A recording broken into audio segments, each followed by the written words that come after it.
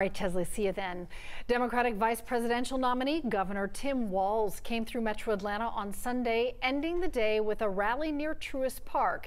He says a Harris Walz administration would fight price gouging and work to protect schools from mass shootings. Georgia Vote co host Faith Jessie secured a one on one interview with Governor Walz.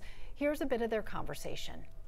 I passed laws in Minnesota that uh, created extreme background checks, extreme risk protection orders, pushing to make sure they're safer. Look, I'm a hunter, a veteran, a gunner. I was the best shot in Congress, one of the best shots there. I understand this. You can protect the Second Amendment. Kamala and I are both gun owners, but our first responsibility is gun violence. Other countries don't live this way. But can you convince Congress? That it seems to be the holdup every time with the Congress. Yes, either that or you'll lose because 80% of the American public says we don't have to live this way. You can have your guns, you can have your Second Amendment rights, but we can do enhanced things, keeping assault weapons off the streets or out of our schools.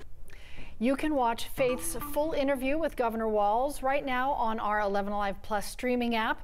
It's a free download on your Roku, Amazon Fire, and Apple TV. You'll also want to join us on election night as we live stream results for the race to the White House. State by state races we'll be watching, and in Georgia, county by county analysis We'll be streaming starting at 7 p.m. Tuesday night just as soon as the polls close.